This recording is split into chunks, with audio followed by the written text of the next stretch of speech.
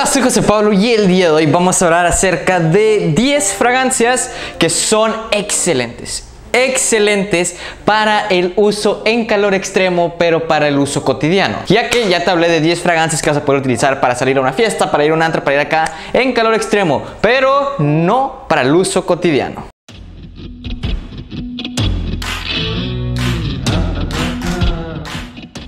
Así que pues vamos a empezar con la única que es la más hablada obviamente y debe estar en esta lista porque es conocida, porque es bastante buena y estamos hablando de Aqua y yo.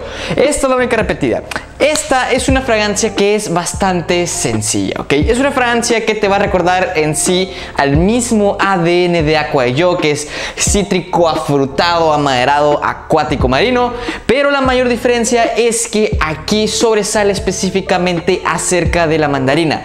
Por lo mismo va a ser la fragancia un poco más juguetona, incluso un toque más juvenil. Sigues teniendo las notas marinas acuáticas que son pues original del mismo Aqua de Yo, con estos toquecitos de notas amaderadas que son secas junto con pachuli, pero la mayor diferencia es que ahora tienes un poco más del pachuli sobresalido, lo cual es la fragancia un poco más versátil, un poquito más utilizable en todos los ambientes. Gran duración, gran proyección y gran generación de cumplidos. Y la siguiente es una que tienes que tener bastante cuidado y estamos hablando acerca de Dolce Gabbana O Intense. Efectivamente, la versión O Intense sí está más intensa. Es una fragancia muy utilizable, muy marina, muy acuática, muy playera para ser específico, ya que vas a tener mandarina y toronja como las notas principales. De estas dos, las que más llega a resaltar es la toronja, que incluso es muy por debajo de la mesa te puede recordar a que es Le Mancité de Louis Vuitton. Pero también tiene bayas de negro para hacerle un toque dulce, las notas marinas y almizcle con vetiver para hacerla un poquito más fresca y claro que sí, más utilizable. Pero tenemos un problema acerca de esta y es una fragancia que muchos te van a decir que es una porquería. ¿Por qué? Porque esta sí depende bastante del pH que tú tienes, ya que varias personas van a decir, ¿sabes que Cuando yo me la aplico huele a huevo podrido, tal cual. Por eso yo te diría que esta sí te recomiendo que pues la pruebes antes de adquirirla. Es una fragancia que sí se merece que la pruebes antes de adquirirla porque esta es otra cosa. O Intense efectivamente es más intensa, va a proyectar muchísimo más y además tiene una duración más más que para defenderse por el tipo de fragancia que es. Una fragancia fresca, limpia, marina. Es conocido que no va a durar mucho, pero en este caso, vaya que te sorprende. No tiene una data establecida, no tiene nada establecido y la siguiente es un flanker de la misma. Y estamos hablando de su lanzamiento más reciente que es la Italian Love. La Italian Love es una fragancia que si a ti te gusta la toronja en exceso, es el pomelo también conocido, te gusta en exceso y es una de tus frutas favoritas, aquí la vas a tener en exceso. La mayor diferencia entre esta y la Forever, que la Forever se inclinaba más a simplemente el puro pomelo, es que ahora tienes unos toques más oscuros en sí de la fragancia, con las hojas de violeta subidas un poquito más de tono, que en lo personal a mí me gusta más porque se huele un poquito más madura, un poquito más oscura, a diferencia de la Forever, que la Forever pues se huele más tal cual como si fuera un refresco de toronja. A diferencia de esta, que esta sí se huele como si fuera un perfume, pero a la misma vez tiene la toronja, entonces esto te va a hacer de un durar un poquito más. Esta es una fragancia que en lo personal está más dirigida hacia un público juvenil, te voy a ser sincero, pero no se huele nada, nada mal en un público mayor, pero sí tienes que tener cuidado con las atomizaciones. ¿Por qué? Porque con dos, tres atomizaciones puede que no dure mucho, te voy a decir la verdad, te tienes que aplicar unos 15 a 10 gatillazos para que tenga un desempeño un poquito más bueno de lo normal, pero ese es un pequeño dato que te quiero dar. Con este sí aplícate un poquito más. Con la Light Blue no es necesario. La siguiente es Chrome Eau de Parfum. Su nuevo lanzamiento. Puede ser esta o puede ser la versión Extreme. Te voy a ser sincero, yo me inclinaría más por la versión Eau de Parfum por el dato, bueno, pues primero que nada porque es la novedad. Es una fragancia que en la salida te sigue recordando en sí al mismo que en este caso es mandarina. Ok, es mandarina cítrica la parte dulce, pero también tenemos lavanda que también va a funcionar como la parte dulce. Ok, una de las cosas más importantes acerca de esta es que contiene pino, ok. Eh, el pino muchos lo pueden relacionar como que es para una persona mayor. Te voy a ser sincero, yo no. Yo lo relaciono, lo relaciono bastante como si fuera elegancia pura y en mi parecer es lo que vas a encontrar aquí. Es una fragancia que no tiene un rango de edad establecido sin dudarlo, pero sí tiene un poco de nivel de seriedad que requiere para poder utilizarla, ok. Si eres una persona muy feliz, muy fiestera, eh, probablemente esta no sea la mejor a decir verdad, pero vaya que le te recomiendo que la intentes. Es una fragancia que la huelo más en una persona que es bastante seria, que ya sabe qué quiere en la vida en pocas palabras. La siguiente es Legend Spirit de Mont Blanc, una fragancia estupenda para el uso cotidiano en días de calor y calor extremo. Es una fragancia muy sencilla, se basa específicamente sobre pomelo, notas acuáticas, un toque de lavanda, cardamomo, almizcle y notas amaderadas. Es una fragancia que te va a recordar bastante a Invictus, pero la mayor diferencia es que se huele aún más limpio. O sea, se huele aún más limpio que Invictus en sí.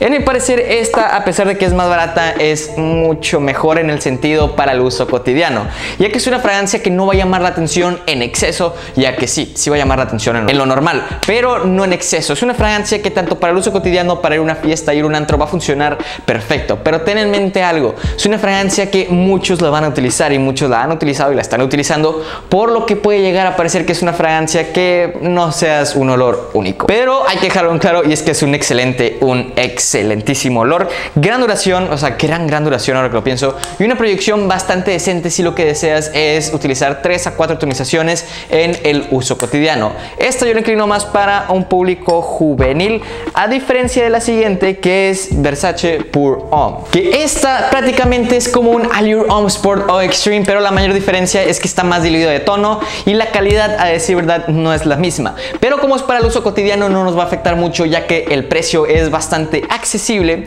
pero en sí la fragancia es muy sencilla ya que tienes algo cítrico, tienes neroli, tienes un poco de almizcle, notas amaderadas. ¿Qué te hace la fragancia algo estupendo. Tiene una duración mira, no, es la mejor duración, pero es buena por el tipo de fragancia que es. La proyección sí, o sea, de una vez lo voy a decir, tiene una gran, gran proyección, más que firmado, pero la duración puede que no sea la mejor del mercado. Pero por este precio, te voy a ser sincero, no te vas a quejar. Es una fragancia que en lo personal yo le inclino un poquito más hacia un público mayor, pero no se huele nada mal en un público juvenil, ya que para decir verdad, pues parece demasiado una fragancia seria, ¿ok? Tú la hueles y sin duda es una fragancia seria a diferencia de Legend Spirit. Son distintas, sí, pero una se inclina más a lo un poquito serio, más playero y la otra se inclina más a lo fiestero, un poquito más juguetón. La siguiente es Le Mail in the Navy de Jean Paul Gaultier y estamos hablando de que es una fragancia que te va a recordar un poco en sí al ADN original, ya que una de las notas principales es menta junto con notas acuáticas que te hacen la fragancia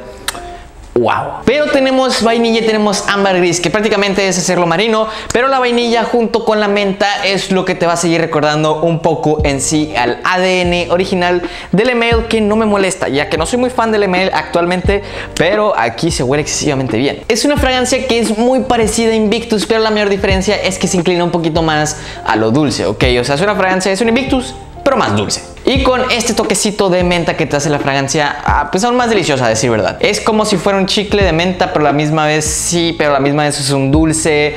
Es prácticamente la vibra que va a tener. Es una fragancia que se la recomiendo más a un público juvenil, es un público que es más juguetón, le gusta más llamar la atención. Y sin duda es para un público que, vaya, que sabe cómo divertirse. El siguiente es de Yves Saint Laurent y estamos hablando de L'Homme, pero para ser más específicos, Cologne Blow Out. O sea, es una fragancia que esta no es muy tomada en cuenta al igual de esta línea.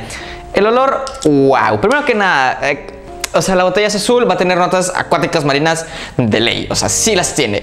Pero como es León, eh, en vez de tener cosas cítricas, que es más que común, como lima, bergamota, toronja, mandarina, en este caso no, sino que tienes naranja amarga como la nota cítrica principal. Y sigue siendo León y vas a tener otras cosas más clásicas como cardamomo, pimienta, lavanda, notas amaderaditas, y esa es prácticamente la fragancia, ¿ok? Es muy utilizable, es una fragancia que yo sí la recomiendo, la verdad. Mucha gente no le presta atención se fueron por el descontinuado que es Ultimate, que como es el descontinuado, ay no, ya no lo vamos a poder tener. Entonces, sí, yo te diría que esta es más que una joya. En lo personal se inclina más hacia un público juvenil. El mayor problema es que es una fragancia que no va a tener la mejor duración, ¿ok?